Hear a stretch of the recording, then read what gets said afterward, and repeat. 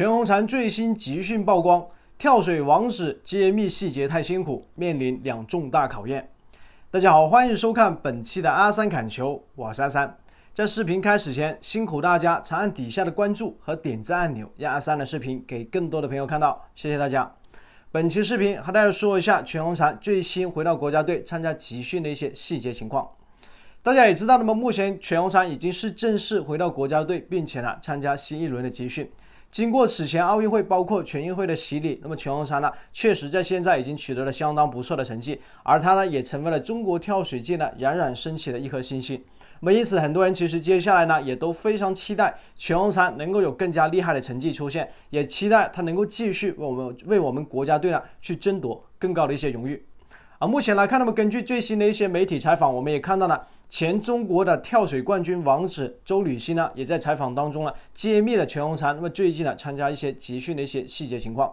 他说呢，全红婵那么一直以来他的一个集训情况都是比较拼命、比较努力的。那么别人呢做了十次的动作，他做不好的话，那么可能会做十次、二十次。那么别人呢可能做了一些事情呢，他可能会双倍、三倍的去啊这个加强去做这些事情。如此一来，也就相当于呢，别人可能下了一倍的功夫呢，他可能下两倍到三倍的功夫呢，去重复去纠正一个动作。那实际上，我觉得全红婵这一番努力、这一番集训的一些细节要求的话，就像他此前在没有拿到奥运会金牌之前呢是一样的。那么在此前，他也同样是这样的，去不断的去通过重复的、更加精准的训练、刻苦的训练，去啊纠正自己的动作，去让自己的一个肌肉形成更完美的记忆。如此一来，那么到了比赛过程当中呢，才能够把他的正常水平给发挥出来，才能够把最好的一面展示出来。如此一来，才能够获得最后的冠军。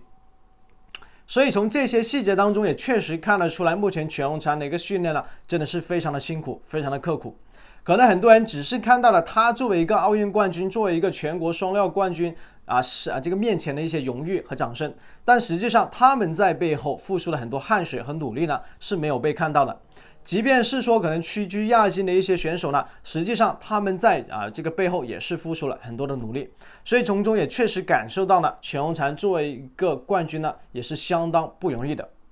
当然，就目前来看呢，其实对全红婵来说，目前归队训练之后呢，虽然是很刻苦啊，但是与此同时，他也面临着两大非常重要的考验。那么第一个就是他的心理状态问题。那么在此前收获了这么多的冠军，也收获了这么多的一些肯定。那么全红婵能不能够及时把这样的浮躁的心态给收回来，继续沉稳的去参加比赛的话，其实呢也对于他而言是一个重大的考验。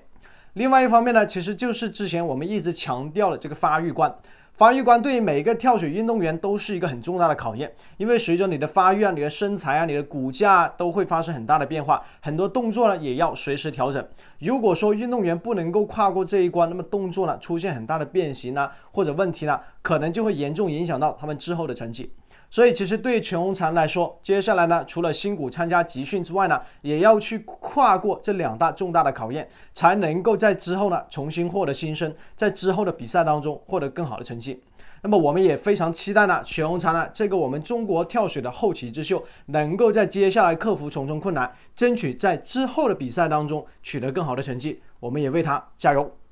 好了，本期的阿三砍球就聊到这里。喜欢阿三的，别忘了关注、点赞、分享。我们下期继续开心聊球，拜拜。